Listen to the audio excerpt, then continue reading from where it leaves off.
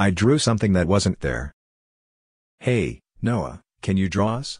My friend, Joey, practically begged me on his hands and knees, pulling his girlfriend close to him. Cindy nodded in agreement with her boyfriend's request. I raised an eyebrow, chuckling to myself. You do realize you'll have to stand still for a while? I can only really draw still life stuff. They both shrugged it off, already sitting in a position they could hold for a while. I grabbed my sketchbook and got to drawing. It didn't take long to sketch out their forms, followed by the details that would make each of them unique the freckles across Cindy's mouth, the muscles along Joey's arms, the way her hair sort of swirled like a tornado. As I leant back to take a peek at the finished product, I realized I had accidentally drawn Joey's hand on Cindy's shoulder. Or at least I thought it was Joey's. They were not even remotely similar.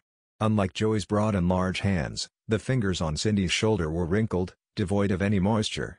Long, rotting nails jutted out like bones from the tips of its fingers, digging into Cindy's hot pink blouse. I looked over at her, but there was no hand to be there. Just as I went to erase the decrepit limb, Joey took the book out of my hand. Cindy looked delighted, clasping her hands together. However, as her eyes traced the drawing, she must have hovered over the rotting hand because her face fell. She pointed at it, causing Joey's expression to drop with hers. After a moment, his face lit up with laughter. Oh man, that actually freaked me out for a moment you're such an artist he squeezed her shoulders, smiling at me. Thanks, Noah. Cindy thanked me half-heartedly, not so psyched about the weird hand. As I tore the paper out of the sketchbook and handed it to them, I couldn't help but wonder why I drew that. I don't recall doing so not consciously at least.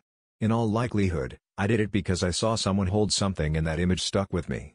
I wasn't sure why the hand looked so twisted, but I wasn't going to question the coincidence. It was just one of those weird moments, nothing more. Still, I couldn't get the hand out of my head. On the bus back home from school, I pulled out my sketchbook and began doodling the girl sitting in front of me. I wasn't the type to do this, but I needed to see if what happened was just a one-time occurrence. The drawing started off fine she was wearing a dark coat and was staring at the phone in her hand, brown hair draping over her face. That should have been all that there was. But my hand continued to move. I began drawing another figure, this one far more inhumane, with decomposing skin, gnarly bones protruding from underneath. Slowly, its form became more apparent though humanoid, it was obviously anything but human. It was perched on the shoulders of the girl, head tilted with curiosity as it watched whatever the girl's phone was playing. Where eyes should have been were instead replaced by hollow sockets, flies entering and exiting. Its mouth, agape and forever held in an expression of shock, seemed to sag, the skin connecting the jaw and the skull teetering on the edge of ripping apart. Despite the fact I couldn't see it, I was able to draw the thing with extreme detail each pore, each blemish, every wrinkle, each hair, everything about it was etched into the paper with perfect accuracy. Frantic, I flipped a page and drew the girl yet again, this time in far less detail. I realized that the constant scratching of lead on paper was disturbing the other passengers, but I couldn't stop.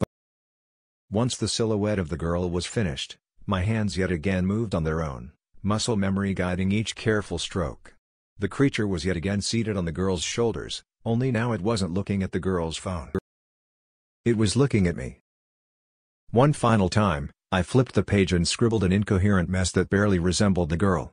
But the feeling of needing to continue the drawing ceased the thing moved. In that instant, I hopped off at the next stop and dashed for my home, cradling the sketchbook to my chest. I frantically looked around, drawing the scenery in the hope that I'll be able to find that thing again. Each time I did, it would be there, either waiting for me with a curious tilted head or running along the roofs on all fours, still glaring right at me. Eventually, I reached my house. Once I spun around and locked the door behind me, I made a quick sketch of the door.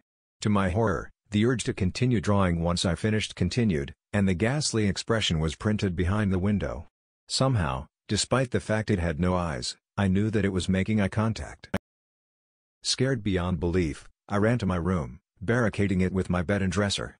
Then, huddled in the corner on the opposite side of the door, I began filling the pages with drawing after drawing of the entrance. At first, there was nothing special in the first 30 or so pages. But then came those nails those long, black talons that held the bottom of the door, trying to pry it open. It tried and tried, each drawing showing the thing's hands in a different position. I thought it would give up, but I'm on my third sketchbook now and it still hasn't let up. I'm writing this now to give my sore hands a break. It's beginning to wear the door down nail marks cover the outer frame, splinters of wood are sticking out, and the paint itself has begun peeling away. Calling the police isn't an option, and the room doesn't have any windows I can't leave. I don't know why I'm even bothering to post this. I guess it's some sort of last wish. I know this probably comes off as some sort of schizo rant, but it's not. There are things that don't live in our realm of existence. Maybe it was my fault for being so curious, putting my nose into places where it shouldn't go, but I couldn't help myself.